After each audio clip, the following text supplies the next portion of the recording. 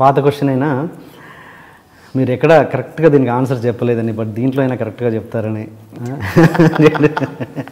JD చక్రవర్తికి మీకు మహేశ్వర్ విషయంలో గొడవ అయిందన్నది బట్ మీరు చాలా చాలా మెచ్యూ అప్పుడు మాకు మెచ్యూరిటీ లేదు అన్నట్టు ఏదో చెప్పారు. బట్ నిజంగా చెప్పండి దీంట్లో. మెచ్యూరిటీ లేకపోవటం. ఓవర్ ఎంతజియాస్టిక్ అయిపోవటం. లైక్ నేను ఇందాక చెప్పినట్టు ఆ ఓవర్ సెన్సిటైజ్ అయిపోయి దాంట్లో first film for both of okay మొత్తం దానికి ఎవ్రీథింగ్ మందే అని అనుకోవటం. అలాంటి ఒక ప్యూపర్ స్టేట్ ఓకే. కరెక్ట్గా చెప్పాలంటే. అది అంతమించి ఇక్కడ it's nothing where all friends okay. ఇప్పటికీ చాలా హార్ట్ఫుల్గా మాట్లాడుకుంటూ ఉంటాం కాబట్టి. ఆ టైంలో ఒక రిపల్షన్ ఓకే ఆ ప్రేమ కథ వల్లనేనా మీ లేట్ మ్యారేజ్ చేసుకుంది? అది దాని దీని కారణం కదా. ఓకే. And okay. ఇప్పుడు మీకు రమకృష్ణ గారికి ఎక్కడ లవ్ స్టోరీ స్టార్ట్ అయింది? అది. గులాబీ మీరు అన్ని తప్పించుకుంటున్నారు ఈ ఏమి గారి తప్పించుకుంటే నేను ఆన్సర్ ఇస్తున్నాను.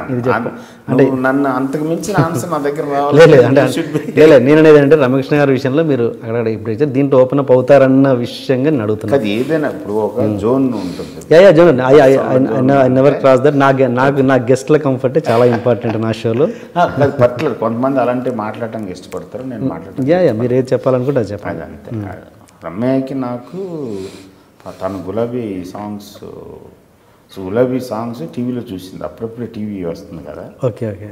ఆ సాంగ్స్లో బైక్ సాంగ్ తనకు బాగా నచ్చింది. ఆ తర్వాత అప్పటికి రమ్య సూపర్ హీరోయిన్.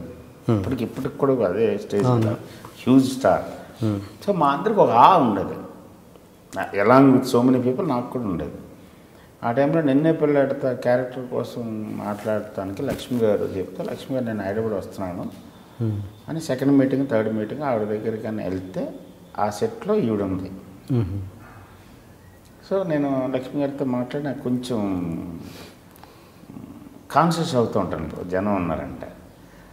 చూసుకుని వచ్చేస్తా ఉంటే రమ్య బ్రహ్మానందం గారు ఉంటే బ్రహ్మానందం గారు ఎక్కువ. బ్రహ్మానందం గారు మేము మనీ మనీ మనీ ఇట్లన్నిట్లో బాగేది డాడీ డాడీ అని అంటూ ఉంటాం. ఆయనతో బాగా అలరి అలరిగా ఉంటుంది ఆయనతో కూడా పలకరించాను. సో రమ్య సైడ్ నాకు ఒకసారి పరిచయం చేయి వంశీని అని. పరిచయం చేస్తే అప్పుడు రమ్య సైడ్ సాంగ్ చాలా బాగుంది చాలా ఫ్రెష్గా ఉంది. తెలుగులో ఇలాంటి ఒక పాట వస్తుందని అలా ఎప్పుడు ఎక్స్పెక్ట్ చేయలేదు. చాలా బాగా తీశారు అప్పటికే ఒక ఏంజిల్. మనం కూడా ఓ అనుకున్నాం ఆవిడ వచ్చి అంత మాడంటారు నాకు అసలు సినిమా చూసారా అని అడిగాను. "ఆ, లేదు టీవీలో పాటలు ఆ సినిమా ఇమ్మీడియట్గా అరేంజ్ చేస్తాం చూస్తారా? అదే రోజు ఈవినింగ్ అరేంజ్ చేసి ఆ నైట్ చూసి అక్కడి నుంచి స్టార్ట్ అయింది. తర్వాత అప్పుడప్పుడు అప్పుడు ఇంకా ఈ ఫోన్లో అవన్నీ రాలా. సో ఫస్ట్ పేజర్స్ తోటి స్టార్ట్ అయింది. దాని తర్వాత తను షూటింగ్ దగ్గరికి నేను వెళ్ళటం కలవటం. నైట్స్ మా అందరికీ ఒక అవుట్ సైడ్ గ్యాంగ్ ఉంది. ఒక ఈ నందిని వీళ్ళందరూ రాజా అని రవిరాజా అని రామ్ అని ఓకే. ఒక బ్యాచ్ ఉన్నారు. వాళ్ళందరితో కలిపి డాబాలకు వెళ్తూ ఉండేవాళ్ళు. నైట్స్. సో అలాగా పెరిగింది ఎవరు ముందు ప్రపోజ్ చేశారు? యాక్చువల్గా ఇద్దరం ప్రపోజ్ చేయలేదు. జస్ట్ అంతే. కాలం నిర్ణయించింది. అలా కాదు అది ఎప్పుడు అదే నేను సినిమాల్లో రెప్లికేట్ చేయడానికి ట్రై చేస్తుంటాను. మీరు అబ్జర్వ్ చేశారు లేదు. నా సినిమాలో ఎంతవరకు ఐ లవ్ యూ అనేది ఉండదు. ఎప్పుడు. ఆ పాయింట్ జస్ట్ హ్యాపెన్స్. ఒక మూమెంట్లో అవుతుంది అంతే చెప్పుకోక్కర్లేదు. అదే. అలా జరిగింది. ఒక ఫిఫ్టీన్ డేస్ వన్ మంత్ తర్వాత రియలైజ్ దట్ కొంచెం ఏదో ఉందని ఓకే. అంటే మీరు అంటే చంద్రలేఖకి అంటే మీ లవ్ స్టోరీ స్టార్ట్ అయింది చంద్రలేఖ దగ్గర కాదు. టైంకే డీప్లీ ఇంటూ. నిన్న పిల్లడితో అయిపోయిన తర్వాత. తర్వాత. గులాబీ స్టార్ట్ అయింది. నిన్న పిల్లలలో కొంచెం ఇది స్టార్ట్ అయింది. సింధూరం టైంకి లవ్ స్టోరీ లవ్ అనేది అర్థమైంది. Love or whatever you call it I feel it's like emotional connect. Okay. అది అయ్యింది. ఓకే. అవి కంటిన్యూ అయ్యి సింధూరం తర్వాత చంద్రలేఖ టైంకి వచ్చే టైంకి మా ఈవెన్ నాగార్జున మోస్తాను. ఓకే అంటే మీకు రమ్యకృష్ణ గారిలో అంత కనెక్ట్ అయిన విషయం ఏంటి? అంటే మీరు మీరు అసిస్టెంట్ డైరెక్టర్గా ఎంతమంది హీరోయిన్స్ని చూశారు ఎంతమంది ఇది చేశారు ఎక్కువగా కనెక్ట్ అయిన విషయం ఏంటి? అనే personal level she more human okay. Doll కాదు ప్రొజెక్షన్ కాదు ప్రిటెండెడ్ ఇమేజ్ కాదు.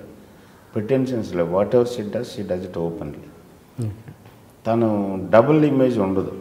లోపల ఒకటి బయటకు ఒకటి ప్రొజెక్షన్ ఉండదు. Okay. And very compassion and very transparent ఏమన్నా మా ఫేస్లో తెలిసిపోతుంది.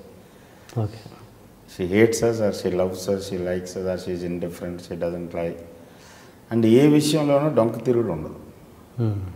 ఇవాళ ఇన్ని సంవత్సరాలు అయిన తర్వాత ఏదైనా సరే ఎనీథింగ్ స్ట్రైట్ ఓకే ఒకటి ఎగ్జాంపుల్ చెప్పండి. తన తన తన మీ ట్రావెల్లో ఎగ్జాంపుల్ చెప్పండి. తన క్యారెక్టర్ విషయంలో.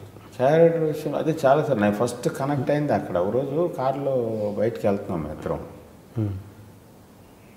అప్పటికి పూర్తిగా స్ట్రేంజర్స్ కాదు పూర్తిగా లవర్స్ కాదు. ఆ మధ్య stage we both realized and drive చేస్తున్న సడన్గా సెట్ ఒక గెస్ట్ హౌస్కి చెప్పింది అప్పుడు గెస్ట్ హౌస్ ఉండే.